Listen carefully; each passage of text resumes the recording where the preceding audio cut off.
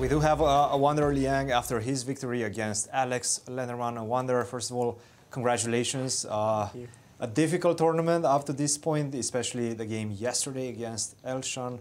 Tell us a bit about how did you approach this uh, game with the white pieces against uh, Alexander Lenderman?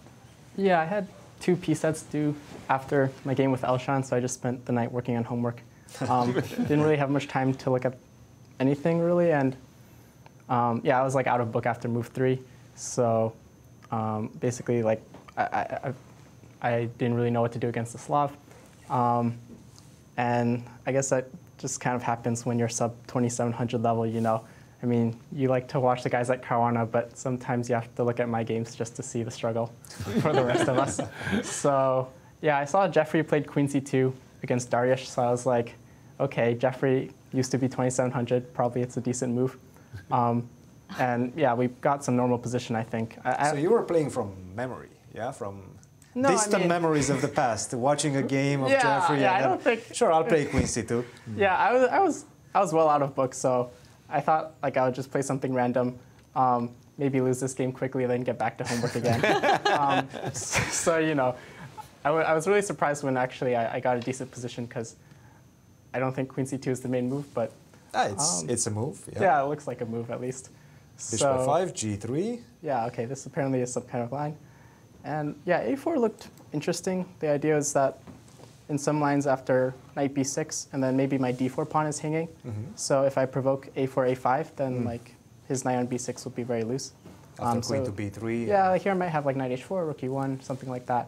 Um, yeah, I was just happy that he wasn't blitzing anything out anymore, so um, I didn't hang a piece and basically. you took him out of uh, his, yeah. his, preparation so, for sure.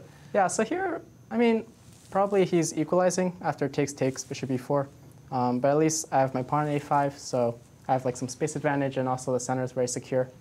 Um, and yeah, I think basically it was equal until I'm not sure. He played e5. Um, if you keep going. Yep. So yeah, I just traded some pieces, and I think this is totally fine. Yeah, and here he played e5, which I wasn't, I didn't really understand what the point was.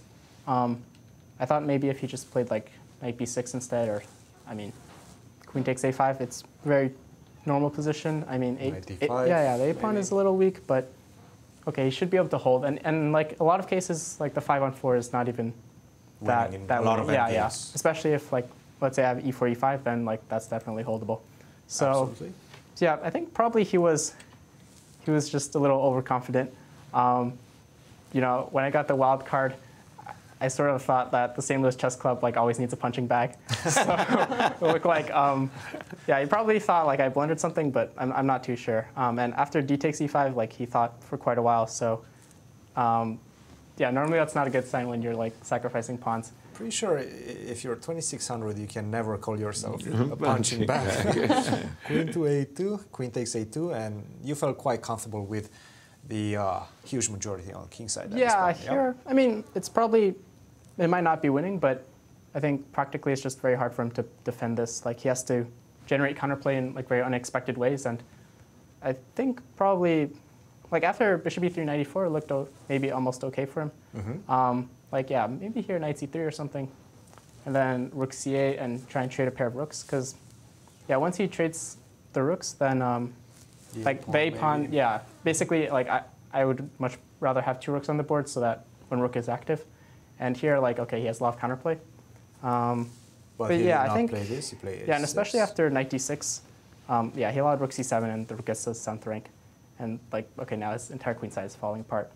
Um, Absolutely. So yeah, I mean, probably just an off day for Alex because, yeah, his play seemed a little strange in the middle game. But yeah, still happy to get the win. Very happy to get the win. Awonder, you, you mentioned that you're doing homework. How do you balance your academic career as well as your chess career? Yeah, I think um, at the moment I'm much more of a student than a chess player.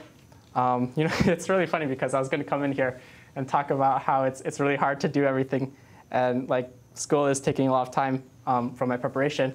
Um, but then I see Jennifer in the other section, also in college, winning all her games, and like that excuse doesn't hold up that much water anymore. Um, probably got to ask her how it's done. Um, from my end, yeah, I mean, I would like to play better chess going forward, but I guess we'll see. Like, and yeah. what do you study in college at the University of Chicago? Um, we're taking various classes right now. Um, the major's still undecided, so you know, plenty of directions to go. Still figuring it out. And But you mentioned this tournament uh, that you're going to miss school to your professors. What was uh, their response? um, most of them said, like the first line was like congratulations, and then the second line was like I still expect you to turn everything in on time. so you know, not much we can do on that end. But yeah, still glad to be here. Um, it, it's a good, it's a great event, and and yeah, you know, it's it's been an enjoyable experience thus far. Awonder, congratulations. We'll see you in the remainder of the games. Thank you. Uh, lovely interview there. I can understand that this